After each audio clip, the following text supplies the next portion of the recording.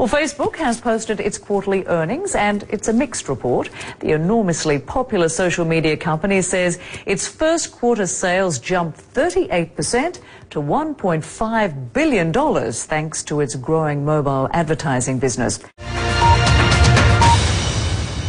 And the good news for investors, it's what they wanted to hear.